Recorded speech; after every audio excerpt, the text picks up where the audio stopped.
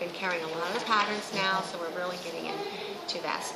Um, and the girls being younger, so that's why we try to carry from, you know, to deal with the younger, trying to get the 20 somethings, the mm-hmm. 30 somethings and quilting with our modern fabrics. And so that's why we try to carry a wide variety,